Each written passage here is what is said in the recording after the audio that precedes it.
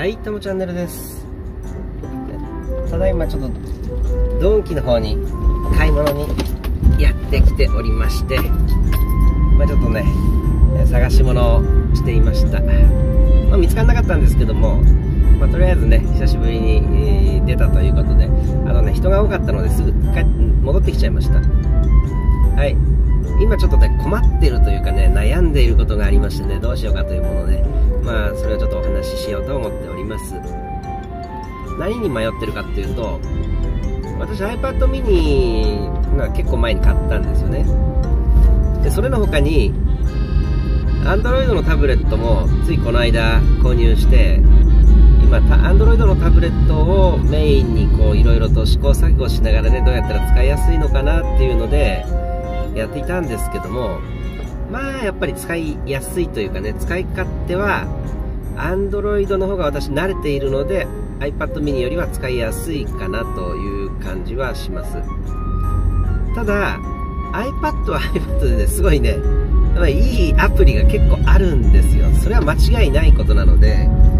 それでねどっちにしようかななんていうふうに今少し悩んでいます。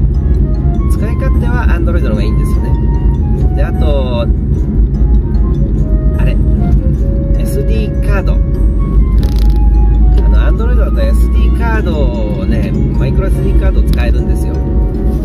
だからデータを万が一、えー、消去じゃなくて本体の方で万が一壊れたとしても SD カード取り出せばデータ取り出せるんですよね。それで iPad mini だとデータがねクラウドに残るかどうかよく分かってないんですけど私も。まだね。で iCloud の方になんか残るみたいなのはみたいなんですけどただそれもねあの試しに使ってるだけなので実際どこまでバックアップ取れてるかちょっと分かんないんですよね。だからやっぱ手元にあるデータがねすぐにマイクロ SD カードで取り出せる状態の Android の方がやっぱり安心感があるんですよね。ただ Android のタブレットの本体の容量も 512GB のある大容量のやつ買ったのでデータ自体は別に本体に置いても使用上問題は全くないんですね。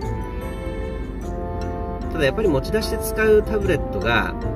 あの壊れる壊れやすいもの落とした時にね、まあ、簡単に壊れてしまうという前提を考えると SD カードでバックアップを取っていてそれで利用していた方が安心できるのかなっていうことなんですよ。まあ、普段は別に壊すような使い方っていうのはしないんですね。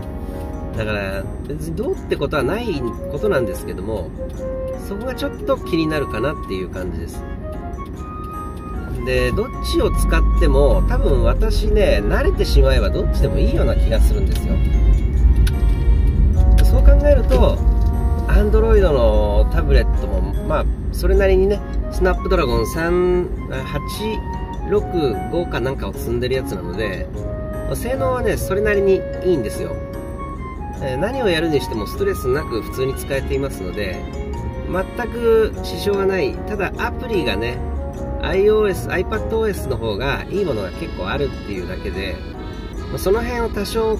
抜かせばあともう一つあるね。日本語入力。私日本語入力を音声入力でやっていますのでそれの変換が Android の方がやっぱりいいっていうことだけなんですよね。ただ音声入力をしっかりとするかというと、まあ、それほどね入力することもねあんまないといえばないですね。だからそれがそこにね重要ね重要なところをポイント持ってくるかというとそうでもなくてまあ使えればいいかな。ただ iPad での入力で私困ってるのはあまりにも誤変換っていうかねもう思った通りの変換になってくれないことなんですよ。だから変換した時にいちいち直す手間がねすごいんですよね。そこだけがちょっと気になるところ。先ほども言ったようにそんなにねしょっちゅう音声入力とか文字入力をするわけでもないしもしねやるんであれば多少目をつぶっても、まあ、できなくはないというそんな感じなので、まあ、私がどっちを使っても、まあ、問題ないのかなっていうのはそういうとこなんですよね。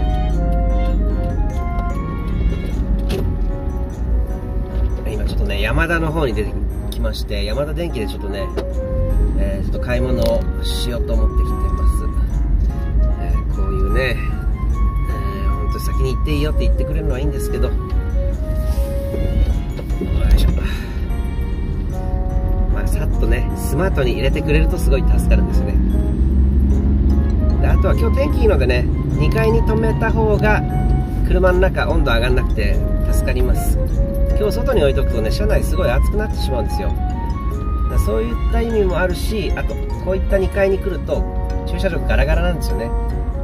だから止めるのがね本当に自分のある程度気に入ったともう安心して止められるのでまあそういう意味でもやっぱり屋上とかね2階とかそういったところで止めた方が安心できます。もう1階は先ほど見てもらった通りもうごちゃごちゃしてますので、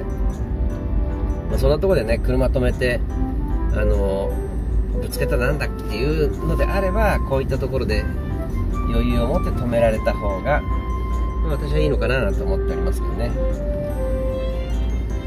はいということでね今そんな感じで iPad mini とあと iPad mini と